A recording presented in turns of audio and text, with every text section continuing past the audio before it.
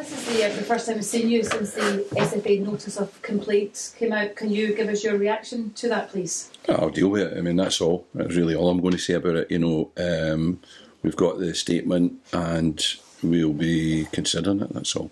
Are you going to go in person to deal I think you've got to.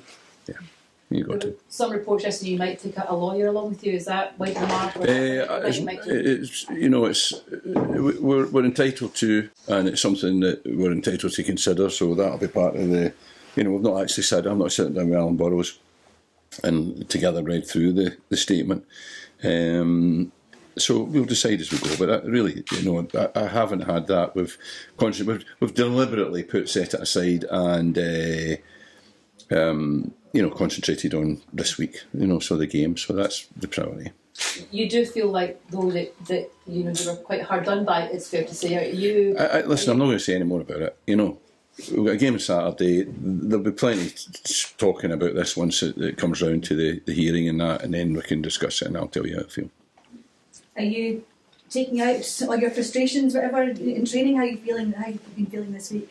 Um, without going into sort of back into that, um, it has affected me, um, but I won't allow it to um, uh, affect my performance in terms of prep, preparing the team for Saturday. I won't allow that. And you know, I've got Steve back now, and you know, we're working as a three of us, so. Uh, we're still sort of trying to find a goalkeeping coach, you know, to bring that part of it in as well. So, you know, we, we, we're a good team. So I've got people around me that, um, you know, are keeping me right. So it's it's fine. Yeah. How beneficial has it been having Stephen back? Yeah, good. You know, uh, um, he's been back a couple of days. Um, we're already getting a bit tired of his voice, but you know, apart from that, no, he's good. His enthusiasm and he's um, he knows the boys. You know, one or two of the new ones that come in the summer. Obviously, he's getting to know, but he's been watching them from a distance. So um, he's hit the ground running, as it were. So no, it, it, it's good because he comes in and he sort of reminds us of a few things that he knows that I like that maybe I kind of got away from a wee bit and other things that we've introduced and that we're doing that he likes that you know they're different from what we were doing when he was here before. Last season different players obviously. He's getting to know them. So um, it, it brings a little bit of freshness to it You said there, Mark, that you, you weren't going to let things that affect you. Do you feel you might have to curb your ways a, a wee bit when when you're in the touchline? You know, we, we often hear managers saying that about a, a, a terrific player who maybe you know picks up the odd yellow card and so and so and so on. They don't want to take that away. I think from you know game. what Is what I same for a feel what I about feel about my behaviour will come out in the the hearing you know so you know, I'm not going to say any more about it you know In terms of uh, performances, what can you, you take from, from the Celtic game?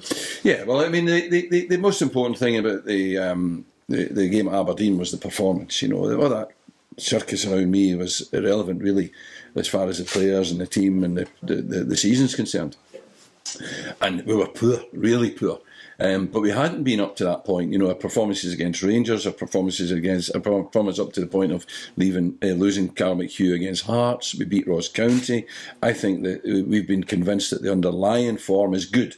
Um, we've been competitive and we felt that we could easily have got a bit more out of those games. And to do what we've done at Aberdeen was like such a surprise. You know, we went there believing we could win the game. You know, we knew a difficult game it would be, but we went there not to sort of, as I say, part of the bus, but to go and have a go at winning the game.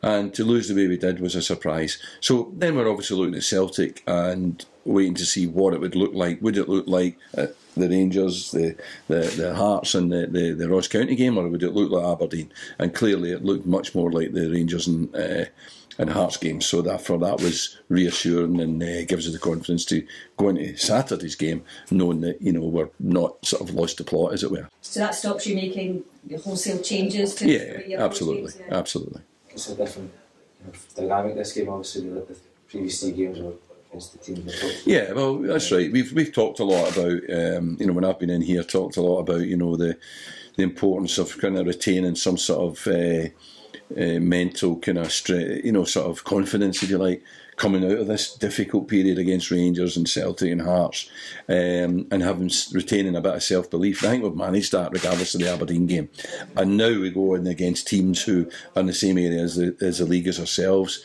Uh, similar budgets, you know, similar expectations, and these are the games that we um, would be expected uh, to do a little bit better than, than we've, we've done against the likes of Rangers or Celtic.